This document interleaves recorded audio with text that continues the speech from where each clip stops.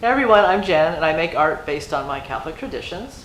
So this is my latest um, painting called The Mustard Seed based on some of the verses from Mark 4. And um, a friend recently asked me why I chose to paint Jesus giving the mustard seed to a small child.